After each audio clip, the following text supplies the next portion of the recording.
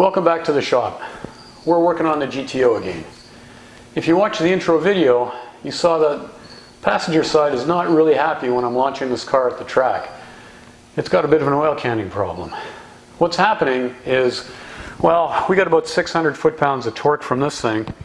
Once we put that through the transmission, the gearing multiplies that torque, makes it even worse, and it's twisting the whole car in this kind of fashion. The bottom of the bumper on the passenger side is going up. It's catching the pinch weld on the bottom of the quarter, which is doing this thing to the whole quarter panel, which is making the quarter panel buckle in the middle. The proper solution to this problem would be putting a full roll cage in the thing and stiffening the whole chassis up. These three letters here make this car worth way too much money for me to hack a roll cage into it, so that's not going to happen. So what else can we do to try and stiffen the thing up without taking value off of the car, without making it look like a race car while making it into a race car? Well, the one thing we can try doing that I haven't done yet is replace all of the body bushings.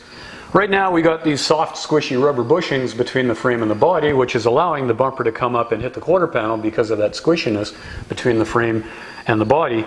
We're going to replace those soft, squishy rubber bushings with these hard polyurethane bushings.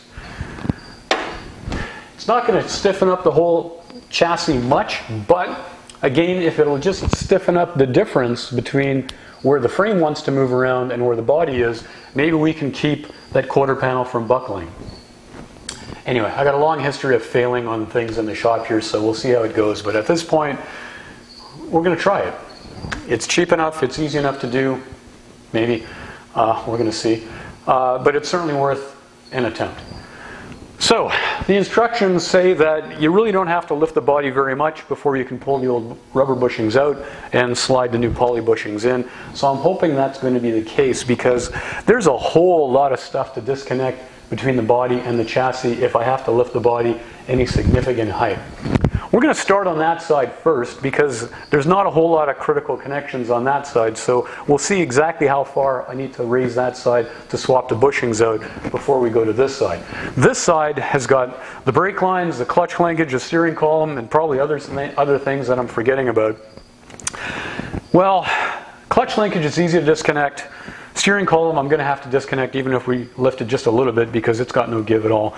But I'm hoping there's enough give in the brake lines themselves that we can lift the body a little bit without me having to disconnect anything.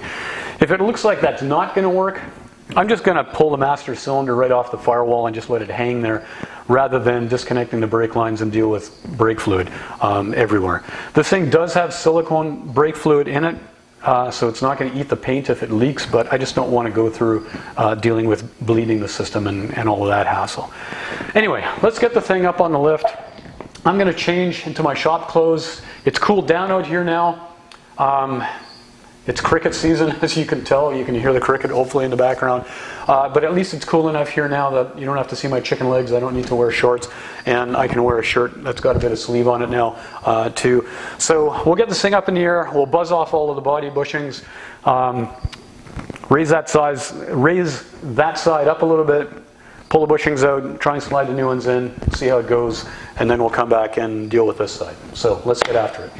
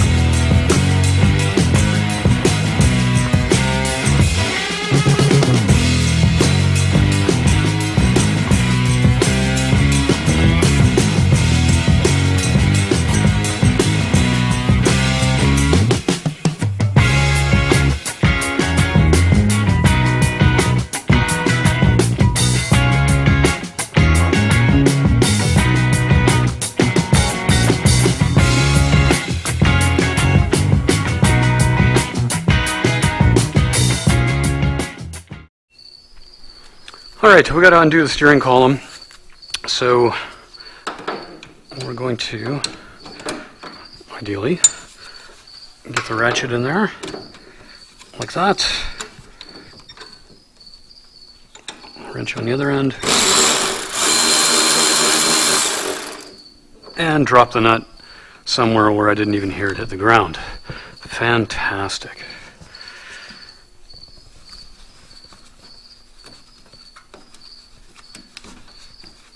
And the washer doesn't want to come off. We might as well drop the washer too while we're at it. All right, we'll worry about that in a minute. Okay, I'm going to give the uh, steering wheel a 180 degree turn so I can get at the other bolt.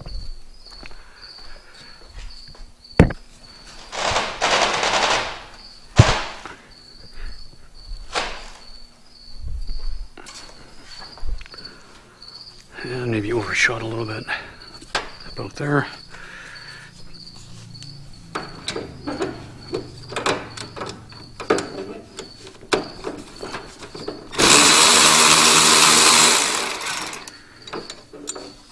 And we've caught that nut. Excellent. So, just the one has vanished. And we should be able to just push these bolts back through the rag joint in theory. Uh, um, yeah, in theory, that should work. In practice, it's being difficult. Let's get a pry bar.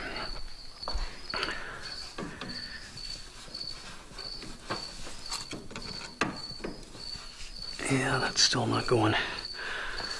Um, the other thing I can do, which I really don't want to do, is undo this clamp here and then I can just slide the steering column up a bit and I can get it off the bolts and then we shouldn't have a problem raising the body on this side. So, um, don't really want to do that because that's spring loaded and I'm a one man outfit. So, to try and pull the thing back down, fighting against that spring pressure, and then do this end up again is going to be difficult, if not impossible, by myself. Um, ask me how I know, because um, that came loose during a race. um, so let's um, let's try getting a hammer in there, and it barely fits in there, and I can't swing it far enough to make an, an effective hammer. So. Yeah, it looks like we're back to undoing this thing, which I didn't want to undo. Let's try and get that washer off there before I drop it. So, um, what size is that? That is less than half an inch. Alright, 7 16 deep socket, and I need to turn the steering wheel a bit.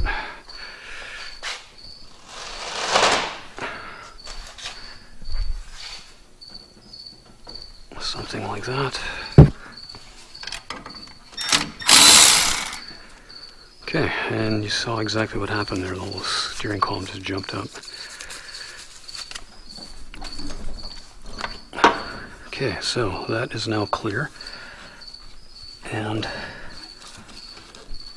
I can uh, I can lift the body without worrying about the steering column. Now the brake lines here Again, we've got this big S curve in here that I'm hoping is going to take up some of the slack, but looking at the bushings underneath, I'm probably going to have to raise the body at least a half an inch, which um, I think is more than I'm willing to torture this brake line. So we're going to pull this thing off the firewall, and that I think is a 9 16 Yeah, so we'll get those sockets.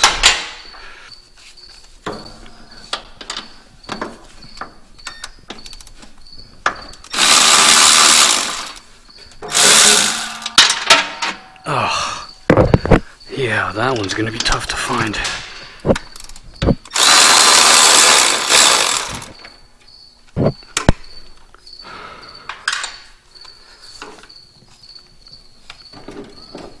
Okay, and I need to crawl underneath the dash and unhook the pedal and uh, stop running my head into the camera, sorry. And I'm not going to bother dragging the camera underneath the dash because it's going to be ugly just trying to get my head under there. And uh, yeah, let's go do that.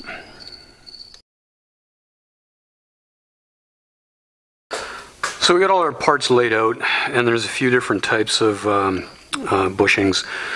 So fortunately, they've got the part numbers uh, stamped into them. So we've sorted them all out. So there's this group, these ones which have a bigger central hole, um, these pucks with the step on them, pucks with the step on them that are a bit shorter, pucks with the step on them that have the bigger hole that I'm guessing go with those bigger holes.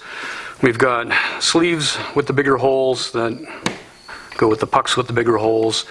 We've got washers with the bigger holes that go with the pucks with the bigger holes. And depending on which bushing alongside of the car, um, different ones are going to go into different places. So, like typical aftermarket stuff, the instructions suck. And I've got a pair of bushings that are missing. So I've got eight bushings per side the kit has given me seven bushings uh, per side. So yay, aftermarket. Um, and the instructions are also wrong uh, because what they're calling out for the number three bushing here uh, that's different is no different um, on the car. It's got the same size bolt and everything else. So I don't know what I don't know what they were thinking, but anyway, we're going to try and make it work. So I'm going to take this mess and I'm going to sort it into the bushings that I think are going to fit on the car, starting at the front of the car and then working towards the back of the car, um, and set it up for uh, for each side. So let's get that sorted out. All right, according to the instructions, uh, I sorted these things out. So this is the front and this is the back of the car. So these are the ones that are going to go into the rad cradle. Um, they're slightly different. Um, a little bit thinner bottom puck. Uh, these are the uh, number three ones, so these are the ones that are supposed to go in the middle of the frame, like right under the middle of the doors on both sides. The, the, only thing that's different is they've got a bigger hole, like there's supposed to be a bigger bolt there, but there isn't. The bolt's the same size. Otherwise, the height of everything is the same. Um, and then all of the other combinations are all exactly the same. And again, at the firewall, we're supposed to have two per side. This kit only came with one per side, so we're going to leave the inner ones as the rubber bushings and put the solid ones um, on the outer bushings. So let's get swapping these things one by one. All right, how we're going to raise this thing is we've got uh, one inch square tube here that is going to fit nicely between the pinch weld and our rocker molding. We've got piece of 2x4 here, and we've got our floor jack. So we are going to center this over the entire rocker panel, ideally without the jack falling off. Uh, so something about like that. And we've covered our square tubing with tape because again we want to try and do this without losing any paint even though it's just the crickets which you can probably hear in the background that are going to see if I've scratched the paint on the pinch weld underneath the uh, rocker molding. Alright, so here we go. So, so far everything's going up, not just the body frame is going up as well.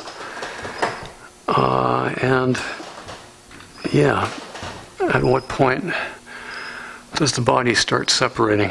So I wonder, is there an extra body bushing here that I maybe forgot? I don't think so. Uh, let me just get the pry bar because maybe the frame is actually stuck uh, to the body. So we're going to take some tension off of this.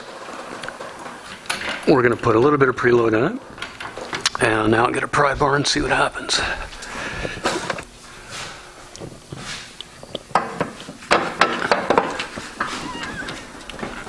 Okay, that one seems loose and ready to go.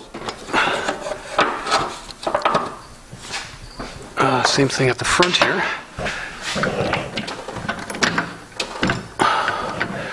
Does the body just weigh that much?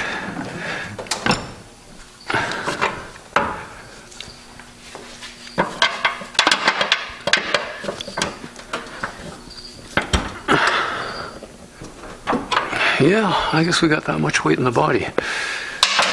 Which is a bit concerning because, uh, again, we don't want to bend any sheet metal here. So let's hope my pinch weld has got some strength to it. Okay, this is getting a bit ridiculous because it feels like the tires are about to come off the ground and I'm not seeing the... Oh, now we go. Okay, now I can start seeing the body is actually going up now.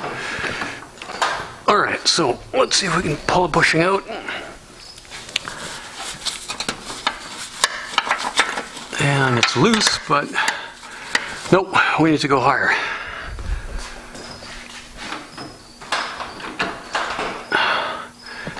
And everything's still going up, not just the body. Okay, why?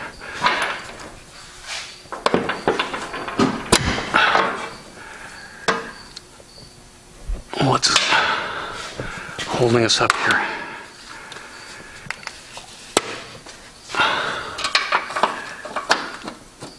Okay, that one's loose. That one's loose. That one's loose. That one's loose. Uh, looks like we need a bit of help in the back here. So we're going to add a, second jack. And uh, yeah, jack things up in the back. Okay, here's what we've got going on in the back. We've added another jack here. Um, we're jacking the body, had a really solid point there where the inner wheelhouse uh, meets the trunk floor. Um, there's a whole bunch of body panels all coming together there, so it's got some stiffness and strength. And as we go up, I can see the body going up and the frame isn't, so that should release those bushings. So let's see what we can we can do in here. Okay, so they are coming loose, but we still got a ways to go before I can pull them out. So back to the jacks.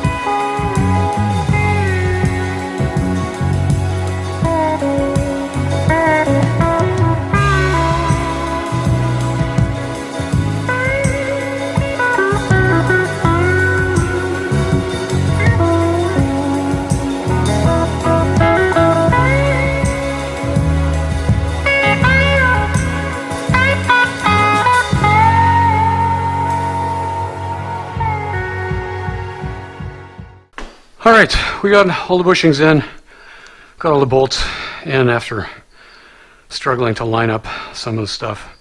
Got everything torqued, so just need to drop the car back down, hook up the steering column, hook up the master cylinder again, try and remember whatever else I've forgotten about already. And uh, we're good to go. So we'll take it to the racetrack. We'll strap the GoPro onto the quarter panel on the passenger side, give her a couple of launches, and uh, see if the problem's gone. Let's hope.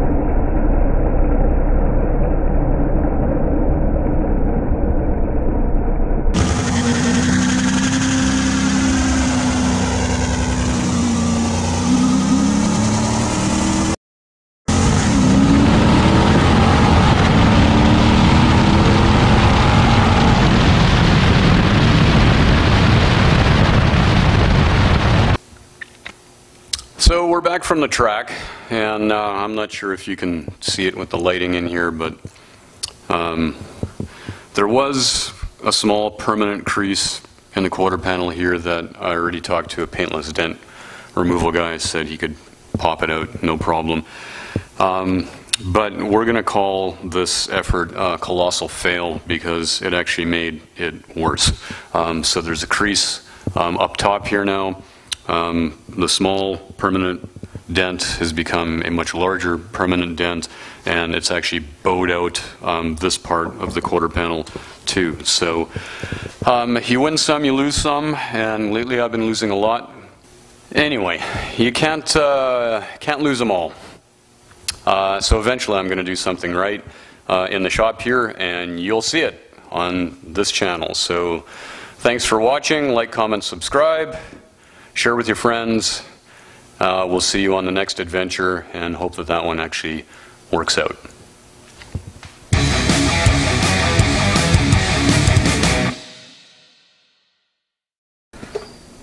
And I jammed it in there so hard now I can't get it out without tools, which I don't have. Imagine there's a three there. Shine. How's my beard? I need makeup. I need plastic surgery. Welcome back to the shop. We're working on the GTO game. The proper solution to this problem the proper solution to this problem would to be